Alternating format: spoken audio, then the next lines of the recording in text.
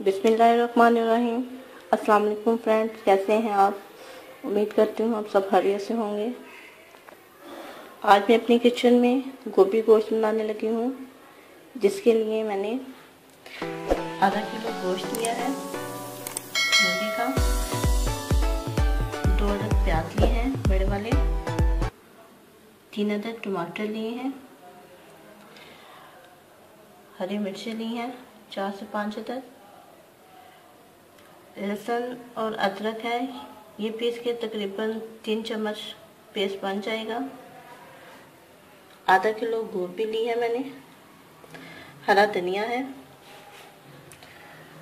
एक प्याली घी है।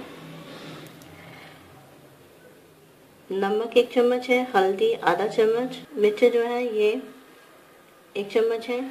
गरम मसाला आधा चम्मच। अब हम इसे बनाएँगे। सबसे पहले हम घी शामिल करेंगे।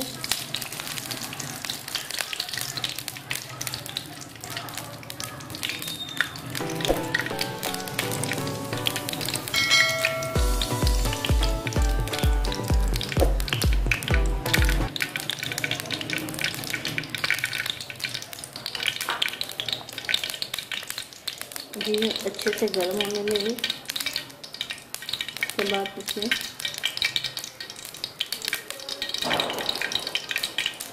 प्याज शामिल करेंगे। प्याज को मैंने अच्छे से कद्दूकश कर दिया है।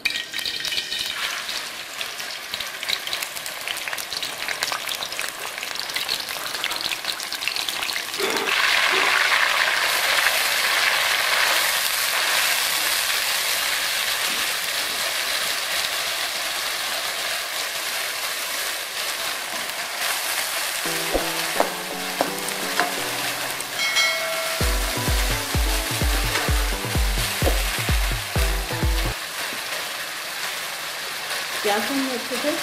ब्राउन कर लेना है। उसके बाद इसमें अदरक और लहसुन का पेस्ट शामिल करेंगे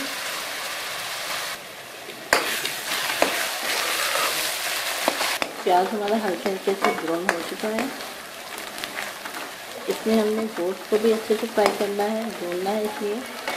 इसी तरह का प्याज हम लेने देंगे। अब हम इसमें लहसुन, अदरक का पेस्ट शामिल करेंगे ये देखें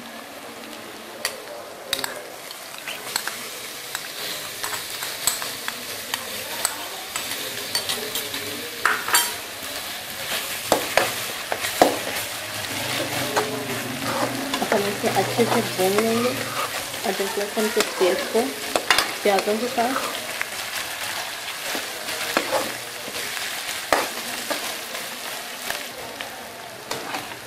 अदरक लहसुन का पेस्ट अच्छे से भून चुका है और इसकी खुशबू भी आना शुरू हो गई है, अब हम इसमें नमक, मिर्ची और हल्दी शामिल करेंगे।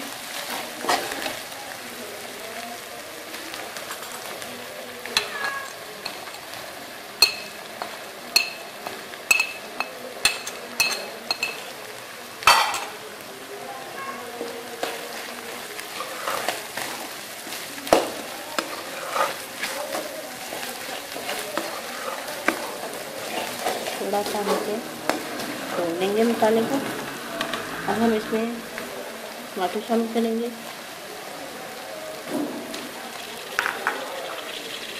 तो बस मेथी शामिल करेंगे।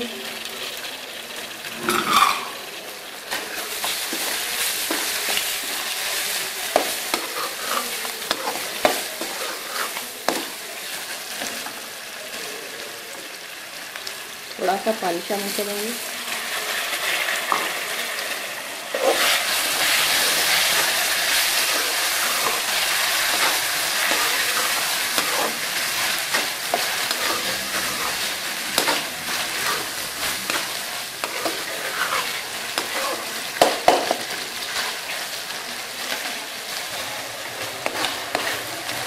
मसाला हमारा अच्छे से भून चुका है। अब हम इसमें गोश्त शामिल कर देंगे ताकि ये गोश्त के साथ ही अच्छे से गल जाए।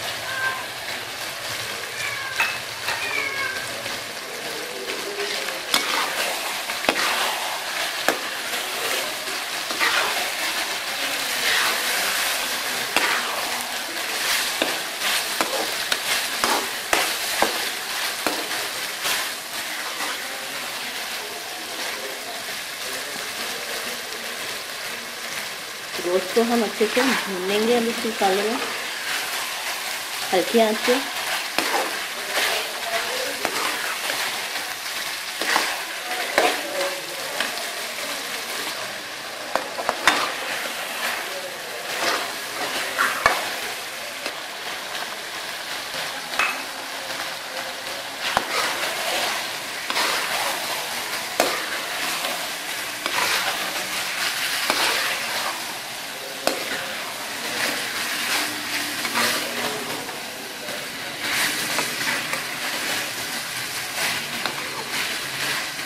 गोभी को हम अच्छे से भून लेंगे गोभी और गोश्त जो है अच्छे से भून चुका है। अब हम इसमें हल्का सा पानी शामिल करेंगे और इसको दम पे ढक देंगे हल्की आँच पे।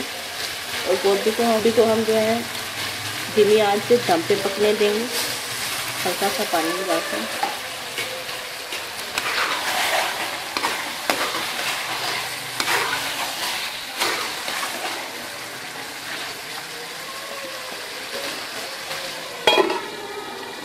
इसको हमने हल्की आँच से दम पे लगा देना है। तकरीबन 10 से 15 मिनट के लिए। सालन हमारा अच्छे से गल चुका है।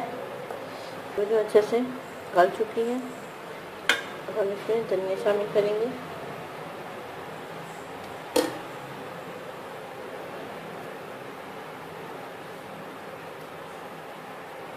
गरम मसाला शामिल करेंगे।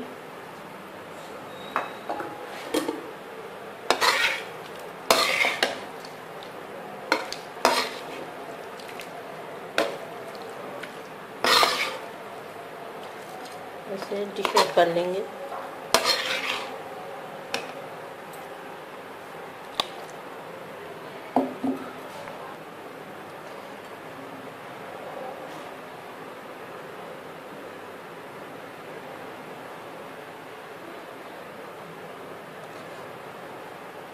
गोभी गोश्त का सालन हमारा तैयार हो चुका है।